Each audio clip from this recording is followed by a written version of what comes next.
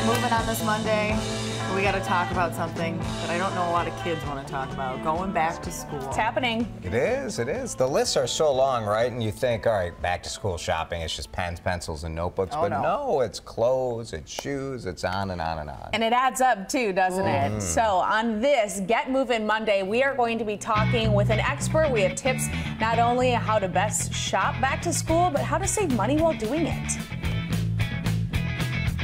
When it comes to saving money and going back to school, you need to have a plan. You do. There's so much you need to buy. With school supplies, I really think you should take an inventory. I mean, when I went through what my kids had, we already have a mm-hmm. pencil box. My daughter needs this to carry her reading book. I mean, we have all kinds of things left over from last year.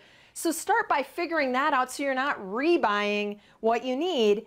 And then you also need to figure out what do I need to get through the entire year. And now, what's the best way to approach buying those actual supplies? Because it depends on where you go. It really does, and I make it really easy. On my website, every week now through Labor Day, I do a price comparison chart. So I've got 60 different school supply items, and I lay out the prices at 12 different national retailers, and then I highlight in green who's got the lowest price this week, and then I'm telling you what's the lowest price we've seen this season, and then I'm even comparing it to the lowest price we saw last year so you can get a sense, hmm, maybe we'll see a price drop in the weeks to come. And it's not just about the supplies, it's also about clothes, Yes. shoes. Those are big ticket Yeah. items. And really, it's the opposite advice of what I'd say about school supplies. Don't buy everything right now. And really, there's two reasons. One, lots of families go into debt because this is an expensive time of year. So don't do it. Just buy what you need for clothes and shoes to get started. And then remember that all of this stuff that's new on the racks right now is going to be clearanced in six to eight weeks. Before you head out, consider buying discounted gift cards. So you can buy an electronic gift card, buy a couple of those gift cards for the places you're headed out.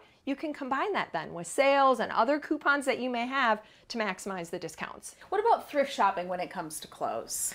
I like to buy used things for my kids. I hate scouring the racks It takes at lot of time. It does. Yeah. And so God bless the internet because there are websites now that really make it easy. Schoola.com, thredup.com, kindermint.com. They're like online consignment stores. Mm-hmm. So I get the used clothes prices with the beauty of internet shopping where I can filter by size and color and then it ships right to my door.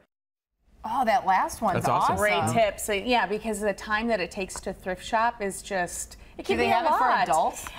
you know what? That's a good question. I do know of a couple. Threadflip is a good Okay. one for adults. I've used that one a little bit. I've sold some stuff and bought some stuff from there. So that's just a little Oh, side thank you. note Thank for you for the fun You're fact welcome. just Thread me. Flip. Yeah. So uh, Carrie says that overall this year supplies are more expensive than last year. So it's not your imagination if you notice that It if you've already started yeah. shopping. Absolutely. And the price comparison chart is at wcco.com slash links. Also on Carrie Rocha's money saving blog. It's called pocketyourdollars.com.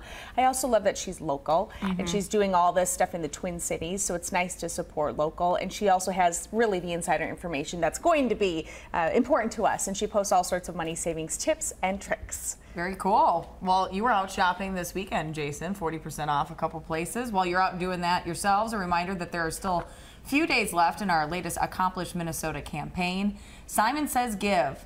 We are collecting school supplies. We'd like you to donate some for the nonprofit.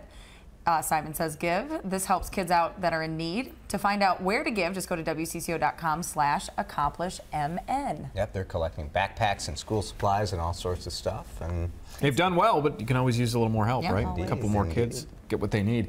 Uh,